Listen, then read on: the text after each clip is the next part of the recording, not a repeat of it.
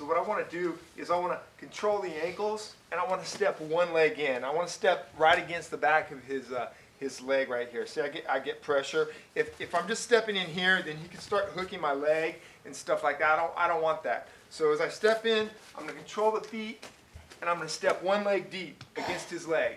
Now the other leg, I'm just going to trap it, keep it keep it off my hip. He's want to put it here. I'm just to keep it off my hip, okay? From here, I'm to push his knee down and I'm going to drop my knee tight to his hip right here, okay? As I do that, I'm going to check this leg and I'm just going to pop this leg over the top here, just like this, nice and tight, okay? Now what I want to do is I want to stay tight to him. I don't want to get far away from him. I want to stay as tight as possible to him here. Now from here, I'm going to take the back, back of my wrist and I'm going to hook his, uh, hook his ankle. Notice that I put his toes under my armpit and the back of my wrist goes on his heel.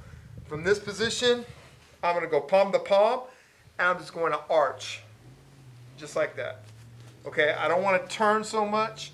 I just want to take it and arch my hips. So I'm squeezing his legs here, arching it back. Okay? In.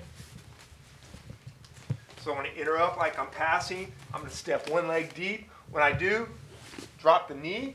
I'm going to I'm to hug his leg just like this right above the knee. As I do, I'm to bring my leg over the top right here. I'm to squeeze and pinch it tight. Okay, from here, I'm to fan back.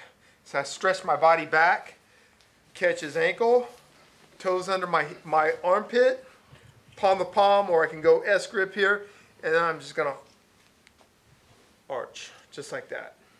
Okay, not so much turning it this way, but just arching and, and, and kind of like peeling his leg this way, like here.